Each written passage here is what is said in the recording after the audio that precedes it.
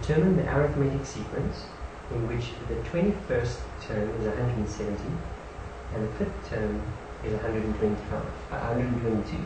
So arithmetic sequence, we start immediately by what we know, that it's alpha plus n minus 1 times delta.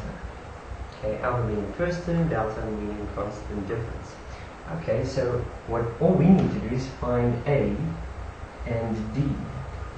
That is what we're trying to find, A and D. Let's see what have they given us.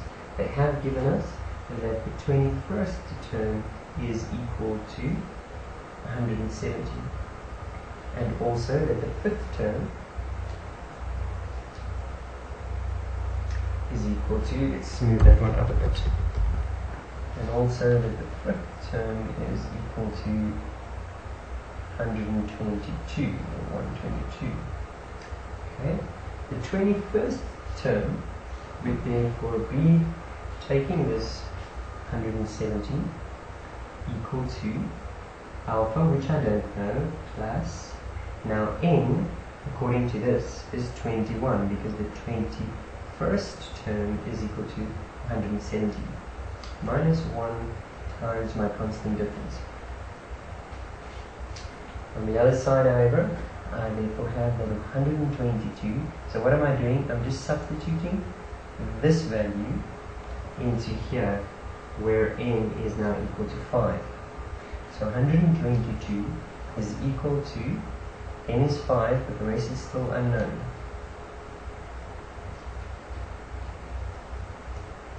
And now what you'll notice is that you have two equations that you need to solve simultaneously. So let's start to do that. Okay, 170 on this side, uh, 170 is equal to A plus 20B. And this one I'm just going to write it underneath because you'll see you can always use um, simultaneous equations dealt with um, elimination. So if you forgot about that, you will be acquainted in just more. Okay, A plus, and here we have 4B. And elimination simply means I'm going to either subtract or add these two equations. In our case, I am going to, oh, not subtract them. Okay, and therefore I get 170 minus 122 is 148. A minus A is 0. Therefore I have dealt with one of the unknowns. He's gone.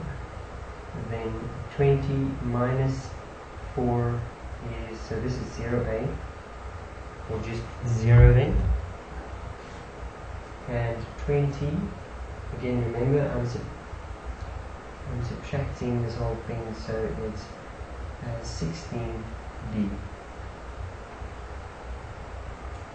okay.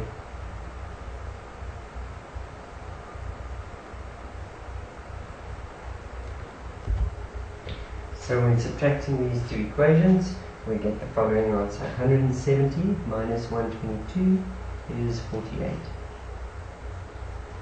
a minus a would be 0. 20 minus 4 would be 16. And now we simply get to solve d. So on both sides, I just simplify a little bit more. I get to divide with 16 and I get an answer for d as 3 constant difference seems to be 3. Well, let's look then at my Hamith the alpha. Okay, so I'm going to choose the easiest one of these two to substitute in the 3 And I think the, the second one, I call this 1 and I call that 2. That's the one I'm going to this, uh, substitute into. So I get 122 is equal to alpha, which is still unknown, plus uh, 4 uh, times d which is 3 4 times 3 is 12 and if I therefore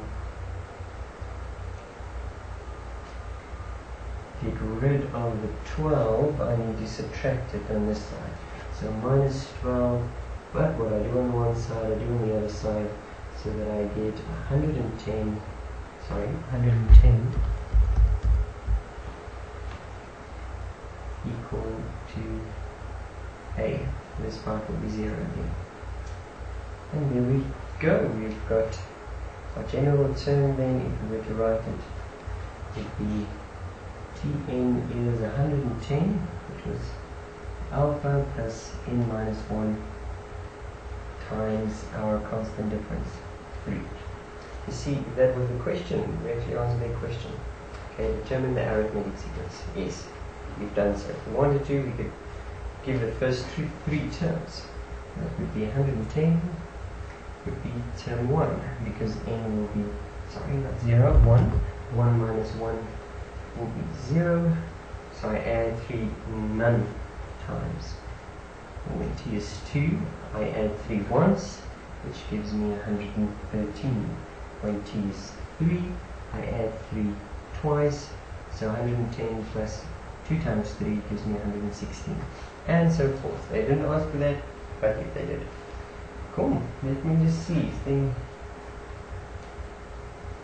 No? Uh, I suspect that's as difficult as they can make it, although they do get very creative with these questions. I hope you enjoyed it and you understand it full well.